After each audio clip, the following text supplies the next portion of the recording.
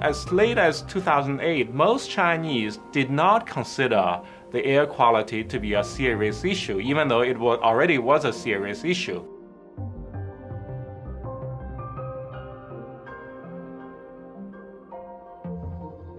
The air quality in China has improved. Uh, most people don't realize it, but in fact, there has been concerted action in the last three years.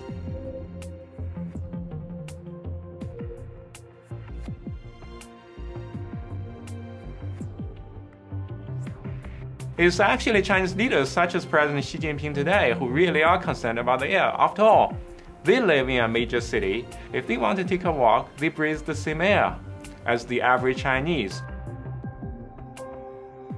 So they began increasingly they became aware of the serious health effects, especially contributing to lung cancer and so on. And therefore they began to ask something has to be done. Chinese leadership is trying to introduce the reconfiguration of how the environmental bureaucracy is being organized and trying to make it more centralized. I think for many developing countries, and especially within China, there is this perception of very vigorous federal action by the US government. Chinese policymakers and scholars look at the US uh, in great admiration because they think actually we did the right thing in using the Clean Air and Clean Water Acts uh, to, to sort of to empower the EPA to act as it does.